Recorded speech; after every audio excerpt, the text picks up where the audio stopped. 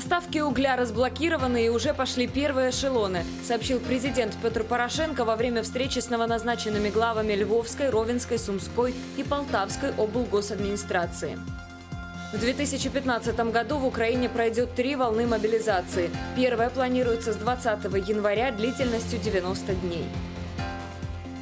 В Украине введут страховую медицину. Медучреждения получат больше свободы, а для врачей и медперсонала ведут комбинированную систему оплаты труда. МОЗ презентовала стратегию реформирования медицины на 10 лет.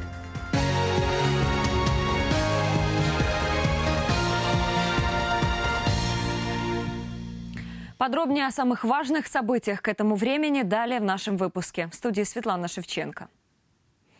В ближайшие дни необходимо принять госбюджет на 2015 год. Такое заявление сделал президент Петр Порошенко в ходе встречи с председателем Верховной Рады, премьер-министром и руководством фракции коалиции. Лидер Украины отметил, что сейчас наступил определяющий период. Время ответить на серьезные вызовы, которые стоят сегодня перед государством. Сохранение суверенитета, территориальной целостности, независимости и обеспечение обороны страны.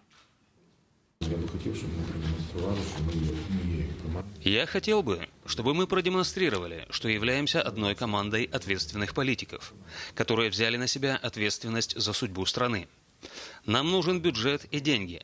Мы должны иметь оружие. Новая волна мобилизации. Каждому воину мы должны обеспечить одежду, бронежилет, средства защиты. Мы должны его накормить. Он должен четко видеть, что государство о нем заботится. Бачите, що держава Также президент призвал принять законопроекты, которые позволят создать справедливую судебную систему и отметил необходимость принятия изменений в законе о прокуратуре. Нужна свежая кровь, люди, не связанные многолетней круговой порукой, то есть необходимо реальное кадровое обновление, подчеркнул Петр Порошенко. Принятие госбюджета 2015 до конца года критически важно для экономики Украины, а также для иностранных и международных партнеров. В этом убеждена министр финансов Наталья Ереська. По ее словам, новая смета страны необходима, чтобы убедить международных партнеров Украины в том, что правительство имеет одобренный парламентом план действий для стабилизации финансовой системы в 2015 году. Только в таком случае можно надеяться на поддержку партнеров, подчеркнула глава Минфина. Также она добавила, что критика бюджета была услышана, и в рамках работы в комитетах Верховной Рады документы тщательно доработают. Принять бюджет до конца этого года критично важно для нас. Ситуация очень сложная. Без этого бюджета мы не сможем платить пенсии и зарплаты с 1 января. Поэтому я очень прошу парламент пойти навстречу. Парламент піти на зустріч нам. Миссия МВФ прибудет в Украину в январе следующего года. Об этом сообщила министр финансов Украины Наталья Ереська. Представители Международного валютного фонда посетят Киев для обсуждения объема выделения следующего транша по кредиту. Минфини утверждает, что сейчас принимаются тяжелые решения. В связи с этим в ведомстве ожидают увидеть политическую волю нашей страны. От решений, принятых Минфином, будут зависеть объемы следующего транша. Напомню, ранее президент Петр Порошенко призвал МВФ увеличить финпомощь для Украины. Представители фонда согласились, что страна нуждается в дополнительных 19 миллиардах долларов. Правительство обязуется повысить на 13% минимальной пенсии и зарплаты с декабря 2015 года, если к этому времени удастся провести социальные реформы. Речь идет об отмене неэффективных льгот, перехода на адресность предоставления социальных услуг и реформировании пенсионной системы. Такое заявление сделал министр соцполитики Павел Розенко. Он констатировал, что Украина опоздала с реформами минимум на 10 лет. Если этого не изменить сейчас, то это не сделают никогда. По словам министра, например, дефицит пенсионного фонда приближается к 100 миллиардам гривен. Это в перспективе снижает возможности повышать пенсии. Также Павел Розенко напомнил, что правительство отказалось от некоторых жестких шагов, в частности от увеличения пенсионного возраста, отмены студенческих стипендий и доплат работникам бюджетной сферы. Нравится кому-то или нет, но мы будем отменять некоторую часть неэффективных льгот.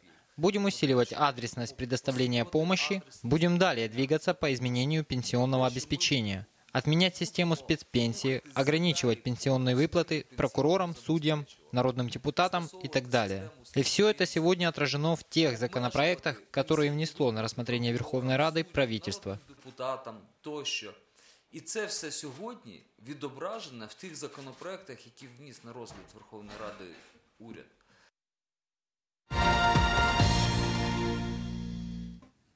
Поставки угля разблокированы и уже пошли первые эшелоны. Об этом сообщил президент Петр Порошенко во время встречи с новоназначенными главами Львовской, Ровенской, Сумской и Полтавской облгосадминистрации. По его словам, также в пятницу должны быть обеспечены перетекание электроэнергии в Украину, которое позволит существенно сократить риски веерных отключений в моменты пиковых нагрузок. Сьогодні є інша проблема, на яку буде важко Сегодня есть другая проблема, на которую сложно влиять органам местной власти. Это веерные отключения электроэнергии. И особенно это наверняка болезненно для людей накануне рождественских новогодних праздников. Возможно ли как-то помочь людям в этой ситуации? слабити ці речі і допомогти людям в цій ситуації. Сьогодні розблоковано ембарго на Сегодня разблокирована эмбарго на поставки угля в Украину. И сегодня уже пошли первые эшелоны, которые обеспечат устойчивую работу электростанций тепловых блоков.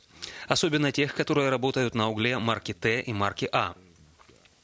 Сегодня должны наконец-то поступить потоки электроэнергии в Украину, которые позволят нам пиковые нагрузки тоже покрыть. Если не сделать невозможными, то существенно сократить риски веерных отключений. якщо не унеможливлювати, то суттєво скоротити ризики е, ВРних відключень. Систему здравоохранения в Украине реформируют в ближайшие десятилетия. Над таким проектом три месяца работала группа специалистов, среди авторов и сам министр здравоохранения. Документ уже прошел ряд общественных слушаний, и сегодня стратегию изменений обсуждали в профильном парламентском комитете. Подробности расскажет Оксана Опрышко. Медицинские услуги в Украине бесплатные только на бумаге. На деле же 95% медпрепаратов больные оплачивают из собственного кармана. При этом срок лечения болезней вдвое дольше среднеевропейских показателей. Система здравоохранения увязла в коррупции. Сьогодні страшно заходити. Сегодня страшно заходить в больницу, страшно болеть, страшно попадать в больницу, зная, что там нет лекарств и зная, что медсестра с зарплатой 1200 гривен, которая за ком-услуги платит 1200 гривен, не имеет никакого настроения, ни желания, ни вдохновения. И что у врача абсолютно нет никаких стимулов быть профессионалом. Изменения в здравоохранении начнутся с реформы системы управления. Сеть больниц оптимизируют и дерегулируют. Медучреждения получат больше свободы, а для врачей и медперсонала введут комбинированную систему оплаты труда. что деньги следуют за пациентом, у сети есть финансовая административная автономия. Это те принципы, которые заложены в этой стратегии. На этом и будет должно, по моему видению, по видению этой группы, строиться будущее, будущее здравоохранения Украины. Реформирование предусматривает введение обязательного медицинского страхования в Украине. По словам профильного министра, первые шаги на этом пути начнутся не ранее сентября следующего года. Помимо того, большая ставка в реформировании делается на модернизацию отрасли и внедрение инновационных технологий. Високі технології, які Высокие технологии должны внедряться в Украине через уникальные клиники, которых может быть не так много, путем внедрения оплаты за услуги, а также на принципах государственно-частного на партнерства. принципах державно-приватного партнерства. Предлагается, что государственные деньги будут выделяться не на поддержку институций и учреждений, а на пациента. Это улучшит качество медуслуг и в результате уменьшит коррупцию. Оксана Прыжкова, Владлен 0, БТБ. Проблема валютных заемщиков вскоре может быть решена. Их кредиты могут перевести в гривню. О таком решении НБУ договорился с банками, крупнейшими кредиторами по ипотеке и объединениями валютных заемщиков. Соответствующие договоренности закреплены в специальном меморандуме, который уже согласован и проходит процедуру подписания сторонами. Документ предусматривает реструктуризацию валютных кредитов в гривню по курсу на день реструктуризации. При этом меморандум предусматривает прощение суммы разницы реструктуризованного кредита между курсом иностранной валюты кредита на день реструктуризации и официальным курсом иностранной валюты по состоянию на 1 января 2014 года пропорционально погашению должником задолженности по кредиту. При этом должникам будут списаны штрафы и пеня по задолженности. Процентная ставка будет зафиксирована не выше указанной в договоре сроком на три года с момента реструктуризации. Для вступления в силу меморандума необходимо также внести соответствующие изменения в налоговый кодекс Украины. Реструктуризация будет проводиться по ипотечным валютным кредитам со остатком основной суммы не более 2,5 миллионов гривен по официальному курсу на 1 января 2014 года Частину цієї суми, яка буде Часть суммы, которую простят заемщику, берет на себя конкретный банк за счет своих доходов. Поэтому основной месседж – конкретные правила для банков по реструктуризации этих кредитов будет прописано подробно в постановлении НБУ. по реструктуризації цих кредитів буде прописано в деталі. Заемщики просили, чтобы это касалось земельных участков под застройку жилой недвижимости. Это первый момент. Второй момент – это квартиры и дома. Они также являются жилой недвижимостью. И третье – это права на построенные в будущем квартиры или дома. майбутньо побудовані квартири е, чи будинки. Реформирование среднего образования в Украине начнется с принятием нового закона. Об этом сообщил заместитель министра образования и науки Павел Полянский. Речь идет о модели обучения с внедрением нового содержания и новых подходов к образованию в целом. Также Павел Полянский отметил, что уже в марте Минобразование завершит секвестр учебных программ для начальной школы. А вот регистрация на внешнее независимое оценивание начнется уже 5 января, заявил директор Украинского центра оценивания качества образования Игорь Лекарчук. Процесс уже запущен. Процесс уже запущен. 5 января сервис для регистрации будет открыт на сайте Украинского центра оценивания качества образования. В полночь уже первые желающие смогут зарегистрироваться.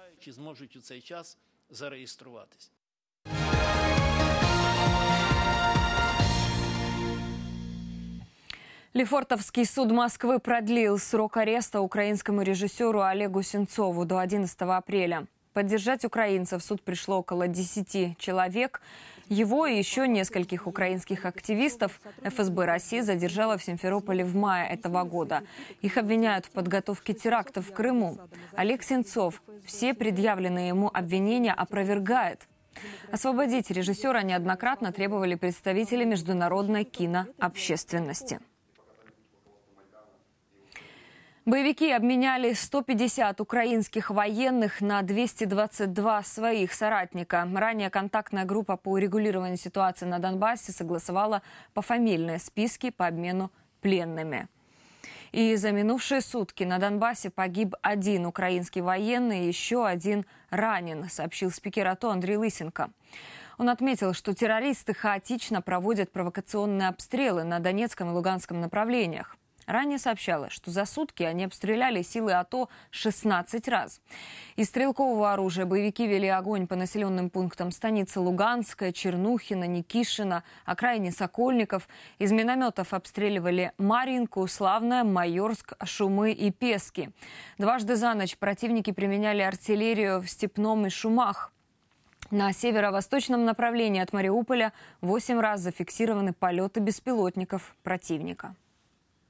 Спостерігається активізація діяльності диверсійно-розвідувальних груп бойовиків як в зоні Наблюдается активизация деятельности диверсионно-разведывательных групп боевиков как в зоне АТО, так и за ее пределами. Кроме того, продолжается передислокация военной техники с территории Российской Федерации на Донбасс, в частности самоходных артиллерийских установок, грузовиков с личным составом и боеприпасами. В то же время украинские военные укрепляют позиции на передовых рубежах. Мирным жителям Донбасса своевременно доставляют гуманитарную помощь. мирним мешканцям Донбас- Донбасу своєчасно доставляється гуманітарна допомога.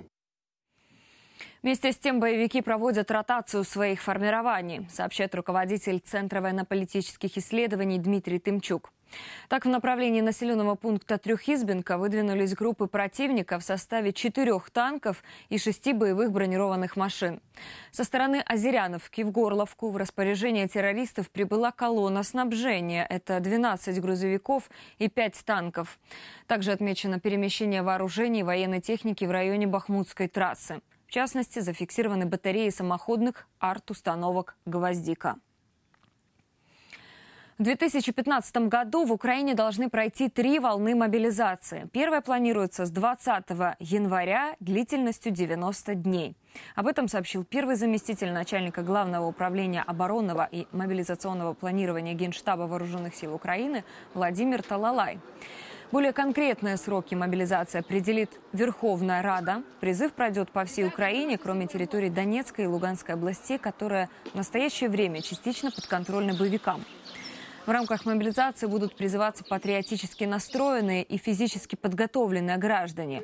Тех, кто будет нести строково военную службу, в зону АТО не отправят, отметил Владимир Талалай, и назвал тех, кого призывать не будут. Есть ряд категорий граждан, которые не будут подлежать призыву в ходе мобилизации. Это прежде всего лица, которые признаны военно-врачебными комиссиями непригодными к воинской службе. Также не будут призываться мужчины, на содержании которых есть трое и более детей возрастом до 18 лет.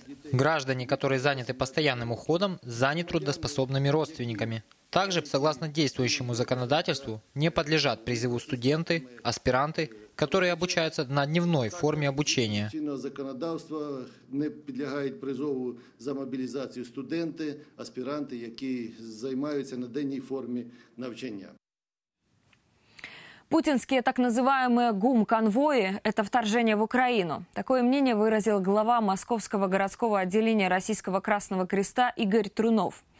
По его словам, Россия нарушает нормы международного гуманитарного права, поставляя такой груз на территорию Донбасса в оккупированные районы. Трунов разделяет беспокойство международного сообщества и украинских властей относительно этих конвоев. В первую очередь это касается поставок оружия и боеприпасов террористам на восток Украины под видом гуманитарной помощи. Он заявил, что, скорее всего, опасения не безосновательны и в грузовиках действительно находилось вооружение для террористов. Германия предоставит Украине кредит в 500 миллионов евро на восстановление Донбасса. Об этом сообщил вице-премьер-министр Геннадий Зубко. По его словам, такой договоренности достигли во время переговоров президент Петр э, Порошенко с канцлером Германии Ангелой Меркель. В январе стороны подготовят заявление о предоставлении кредита. Эти средства направят на восстановление и модернизацию инфраструктуры в сфере поставок электроэнергии и тепла, а также на водоснабжение и строительство школ и больниц, подчеркнул Геннадий Зубко. Всю ответственность за ядерные объекты в оккупированном Крыму Украина предложила возложить на Россию. Об этом сообщил глава Госинспекции ядерного регулирования Украины Сергей Башко. По его мнению, соответствующие поправки к Конвенции о физической защите ядерного материала уже поданы в МАГАТЭ. Сергей Башко добавил, что Россия пыталась формализовать принадлежность ядерных установок Крыма за собой. Однако никто из стран-членов МАГАТЭ такую принадлежность не подтвердил. Кроме того, была приостановлена лицензия Севастопольского национального университета ядерной энергии и промышленности на право эксплуатации исследовательских реакторов в Крыму. Основанием для решения стало систематическое нарушение университетом законодательства Украины. Президент Казахстана Нурсултан Назарбаев призвал мировых лидеров найти компромисс по украинскому кризису и порекомендовал главам европейских государств лично сесть за стол переговоров. По его мнению, войну необходимо остановить и как можно быстрее вернуть все государства к нормальной жизни. Назарбаев напомнил, что на днях совершил рабочий визит в Украину. По его словам, корень всех проблем – в нестабильности и подчеркнул, что люди нуждаются в мире и спокойствии, которого можно добиться только дипломатическим путем.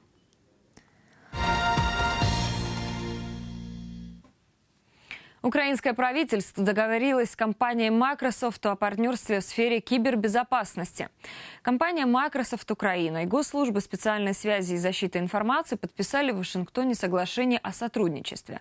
Microsoft будет предоставлять оперативную информацию о глобальных киберугрозах и источниках э, сетевых атак, об участниках кибератак на уровне IP-адресов. Это будет способствовать предупреждению и реагированию на инциденты в цифровом пространстве нашей страны, объяснили Microsoft Украина. Участником такой программы сотрудничества являются лишь 20 стран в мире. Украина же стала вторым государством Европы после Польши, которая присоединилась к новому формату GSP. Правительстве назначили дежурных министров на новогодние праздники. Об этом говорится в соответствующем распоряжении Кабмина. График дежурства расписан с 1 по 4, с 7 по 11 января. В соответствии с документом 1 января дежурить будет министр экологии и природных ресурсов Игорь Шевченко, 2 и 3 министр информационной политики Юрий Стец, 4 министр агрополитики и продовольствия Алексей Павленко, 7 министра молодежи и спорта Игорь Жданов, 8 числа министр внутренних дел Арсен Аваков, 9 января министр инфраструктуры Андрей Пивоварский, 10 глава МИД Павел Климкин, и 11 января министр регионального развития, строительства и ЖКХ Геннадий Зубко. Танкисты отдельной механизированной бригады в зоне АТО получили тысячи пряников от учеников одной из школ Днепропетровска, сообщает пресс-служба Минобороны. Это уже не первая акция, которую организовали дети этой школы. Начиная с лета, они регулярно проводили благотворительные ярмарки и на вырученные средства покупали необходимые вещи для бойцов АТО. Командир танковой роты отметил, что такие действия значительно повышают моральный дух солдат, поскольку в каждый собственноручно изготовленный талисман школьники вкладывают свое тепло. К этому времени это вся информация. В 21 час смотрите программу «Важный день». Эксперты проанализируют и подробно расскажут, что предполагает программа реформирования медицины в Украине на следующие 10 лет. До встречи.